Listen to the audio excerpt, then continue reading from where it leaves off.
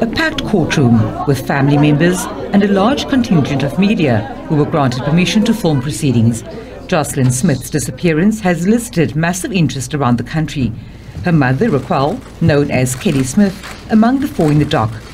While the arrests have been described as a step in the right direction, police say their main goal is to find the child. Police have not ruled out more arrests or the possibility that more charges could be added.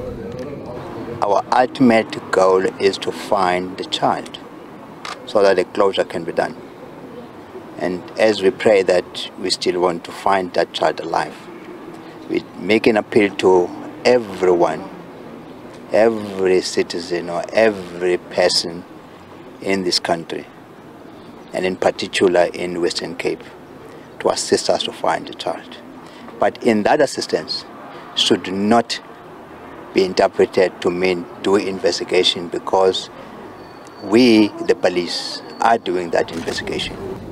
A stern warning has been issued to any person who interferes with the case and also people posting fake or misleading information on social media.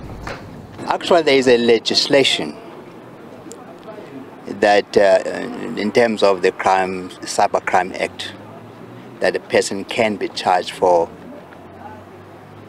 distributing false informations. But that investigation will continue on that part. If there are any that have done that, we'll continue with our investigation. Whenever we get a, a complaint on that, we continue with investigation.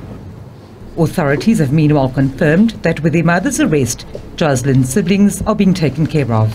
They are with the families, but the social development is taking care of that, and also they are looking after them. Uh, and uh, from me, as a, as, as a mother, it's that tomorrow it's International Women's Day, and we are still dealing with these kind of issues.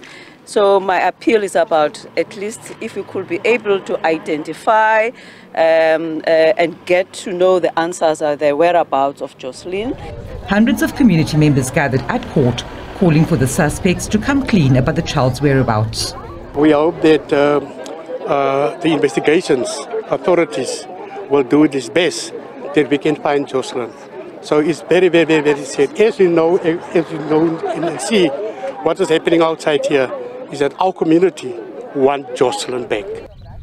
The search for the grade 1 learner who went missing from the Middelpoort informal settlement continues. Vanessa Puna, SABC News, Vredenburg.